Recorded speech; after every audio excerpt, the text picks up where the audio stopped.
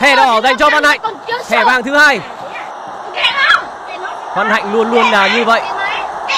Lúc này là lúc mà cầu thủ cả hai bên cần phải bình tĩnh hơn.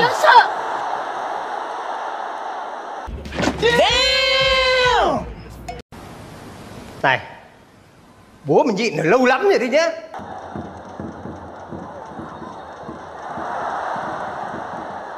Một pha va chạm giữa Văn Hạnh và Đỗ Melo.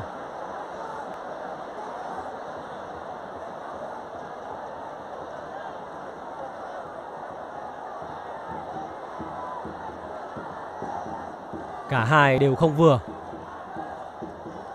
Nhưng có lẽ Văn Hạnh cũng không đau đến mức như vậy.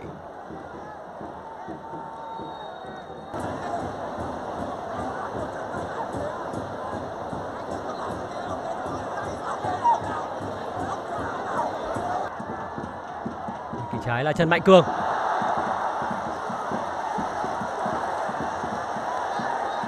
Như vậy là trọng tài Hoàng Mạnh Hà xác định đã có lỗi của Adriano Smith đối với Trần Mạnh Cường. Tình huống cố định như thế này sẽ rất nguy hiểm khi bên trong đó là Đỗ Melo và Rafael Sơn. Chắc chắn cả Tony Avazi cũng sẽ lên tấn công trong tình huống này. Một trận đấu quan trọng nhưng Tony Avazi đã có một thế trận phòng ngự không tốt, khiến cho đội chủ nhà phải nhận hai bàn thua.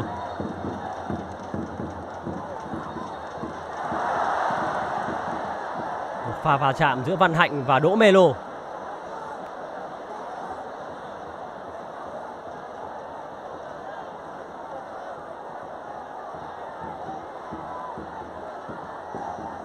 Cả hai đều không vừa. Nhưng có lẽ Văn Hạnh cũng không đau đến mức như vậy. Thời gian đang dần trôi về những phút cuối cùng, những phút bù giờ cuối cùng của trận đấu.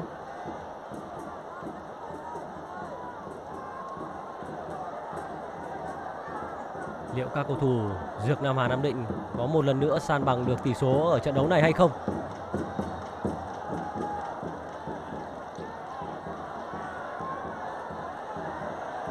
Thẻ vàng dành cho đội trưởng bên phía Dược Nam Hà Nam Định.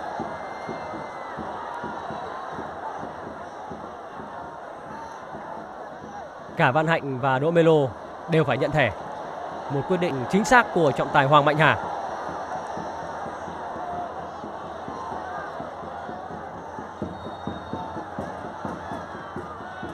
Đánh đâu không vào.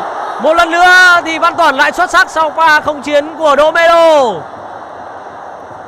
Rất đáng tiếc cho Nam Định. Nếu như tỷ số là ba đều, Thì chắc chắn đây sẽ là tỷ số cuối cùng của trận đấu này. Thời gian không còn nhiều nữa.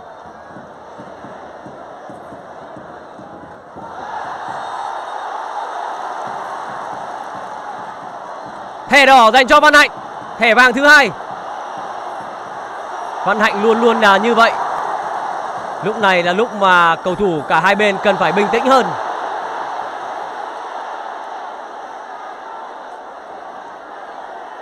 Văn Hạnh là cầu thủ thi đấu rất máu lửa, Nhưng đôi khi sự máu lửa của anh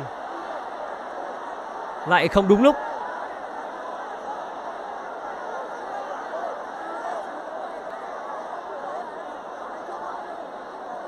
Nói đến Văn Hạnh, người ta nhớ đến tình huống vào bóng của anh đối với Văn Thành của anh Gia Lai. Một tình huống mà các trọng tài chỉ rút thẻ vàng.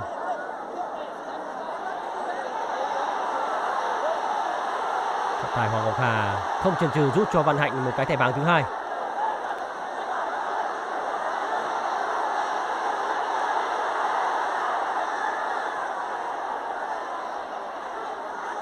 Có lẽ như trọng tài Hoàng Ngọc Hà đã rút thẻ vàng vì lỗi hành vi của Văn Hạnh.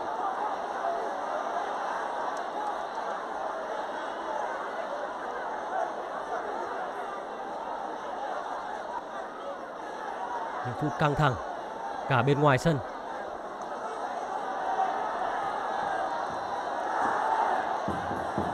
Giây cuối cùng của trận đấu rồi.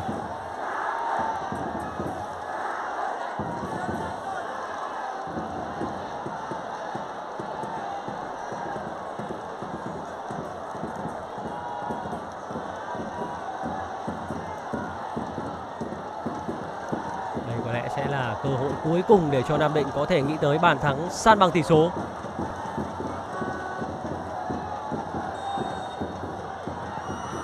Không được. Đây không phải lần đầu tiên trong trận đấu này thì Đoàn Thành Trường đã có những tình huống đá phạt có thể nói là không thành công.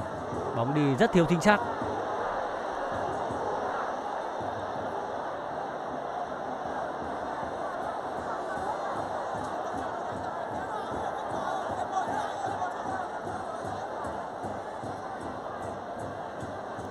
Quảng Nam đang dẫn Đà Nẵng 3-1.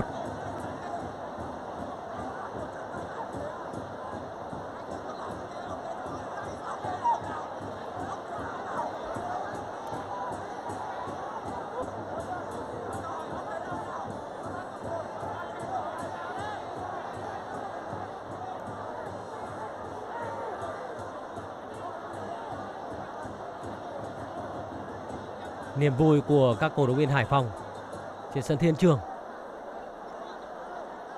Có lẽ là sau tình huống phát bóng của Văn Toàn, thì trận đấu này sẽ kết thúc.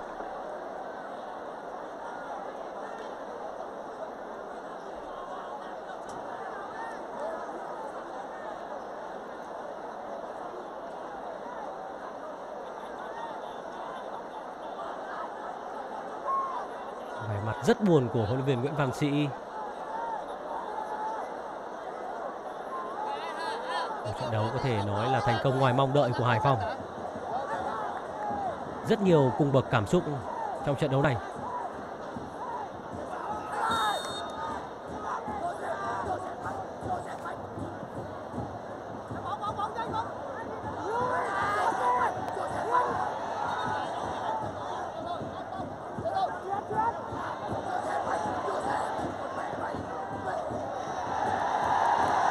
Diabazi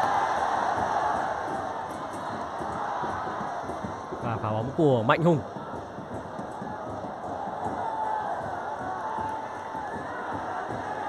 Phút bù giờ thứ 8.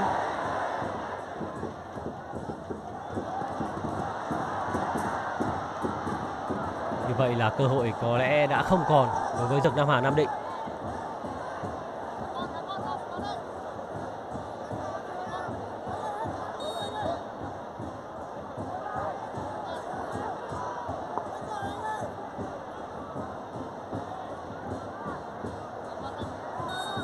Như vậy cuối cùng thì trận đấu đã kết thúc.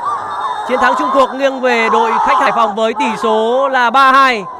Ăn đù Được của nó đấy